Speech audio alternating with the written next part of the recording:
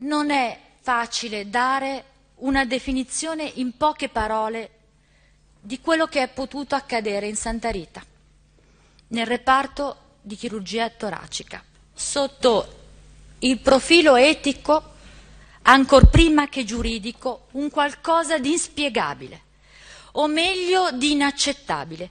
Bisogna riempire il più possibile le sale operatorie, bisogna fare interventi, eh, il, più possibile, il più, maggior numero di interventi così da ottenere il eh, più alto, il più alto guadagno. Se è inaccettabile operare gente che non ha bisogno di essere operata per soldi, è ancora più inaccettabile farlo su persone con condizioni generali palesemente compromesse. Ma sono ancora qua. Ci vuole abilità.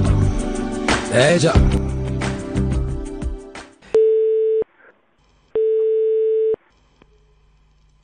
Pronto? Pronto?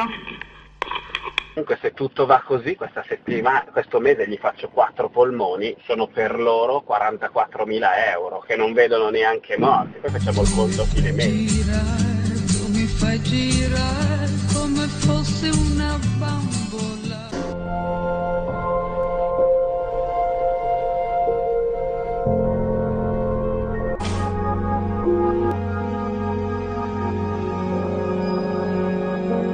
e chiudere la porta per lasciare il mondo fuori dalla stanza.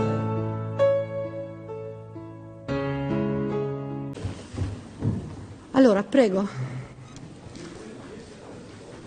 Si accomodi nella sua veste di imputato, lei può scegliere se rispondere o non rispondere alle domande liberamente. Se non risponde il procedimento proseguirà ugualmente, se risponde le sue dichiarazioni potranno essere usate contro di lei. Cosa intende fare? Intendo rispondere. Il pubblico ministero è in esame. Lei non ha mai fatto fare agobiopsia in Santa Rita? Agobiopsie, beh, la- in, in Santa Rita le agobiopsie non le facevamo. Io l'agobiopsia non l'ho mai considerata un esame fondamentale e più rischioso che, che utile. E quindi il- la cosa più tranquilla secondo me era l'esame istologico. Mi scusi, la cosa più tranquilla, ma perché l'agobiopsia non consente un reperto eh, istologico, citologico? Io penso di avere risposto, cioè nel senso io ho detto io non ci credo moltissimo, il rischio dei no. falsi negativi è elevato, Il rischio di falsi negativi, ma lei sa la percentuale di falsi positivi o falsi negativi per l'agobiopsia? Alla mammella? Beh, sono un 10% di falsi negativi. Anche ammettendo che questo sia vero, c'è un 90% di correttezza degli Certo. esami. Io ribadisco il concetto, E se la il nodulo... valutazione che non ci crede si basa sul 10%? Mi, mi faccia capire perché io non capisco. Se è questa la risposta, Beh, un 10% non è poco e comunque quando il, se il nodulo, ribadisco, viene negativo, cioè se la, la biopsia viene negativa, l'intervento bisogna farlo comunque. Comunque ma scusi, lei viene dalla scuola dell'Istituto dei descritti... Tumori, ha detto. Sì, E all'Istituto dei Tumori, Beh, secondo eh, lei, io- no, mi spieghi, la domanda è, all'Istituto dei Tumori, secondo lei, l'agobiopsia non è uno step diagnostico comunemente praticato? dove la facevamo noi non veniva sempre praticato. Non veniva sempre, che cosa significa? Che non veniva mai? Sì. Non veniva Quasi spesso? mai. Quasi mai. Mm. Può spiegare tecnicamente, praticamente, la differenza tra un'agobiopsia e un intervento che lei chiama di quadrantectomia? Tecnicamente. Beh, Che cosa si fa tecnicamente, con un'agobiopsia? con un cosa ago bisogna centrare la lesione, quindi Mm. aspirare la Una cellula. puntura. Quanto dura? Pochi secondi, È ambulatoriale? certo. Nel senso che la donna non viene ricoverata. E invece il suo intervento? Presuppone il ricovero e dura 20 minuti. E anestesia come? Generale. Questi pubblici ministeri chiedono l'affermazione della penale responsabilità di tutti gli imputati per tutti i reati loro rispettivamente ascritti e la condanna di Presicci Pietro Fabio, unificati tutti i reati dal vincolo della continuazione, alla pena di anni 14 di reclusione.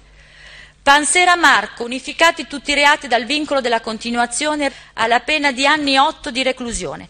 Brega Massone Pierpaolo, unificati tutti i reati dal vincolo della continuazione, alla pena di anni 21 di reclusione.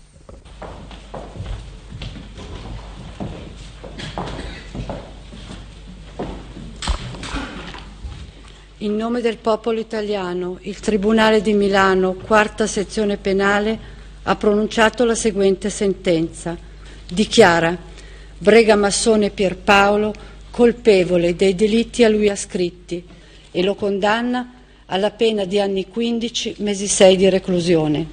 Dichiara Brega Massone Pierpaolo perpetuamente interdetto dall'esercizio dei pubblici uffici ed in stato di interdizione legale durante l'esecuzione della pena.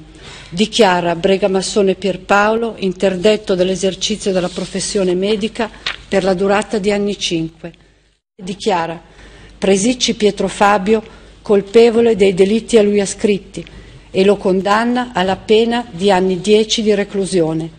Dichiara Pansera Marco colpevole di tutti i reati a lui ascritti lo condanna alla pena di anni 6, mesi 9 di reclusione.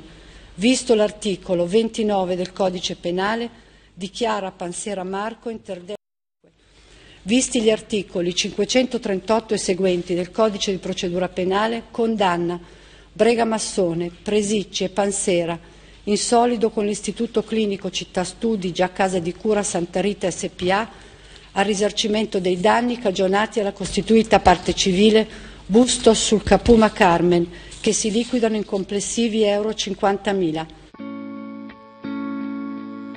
Squintani Giuliana, euro 80.000. Zitano Giovanni, euro 70.000. Rossomanno Francesco, che si liquidano in complessivi euro 80.000.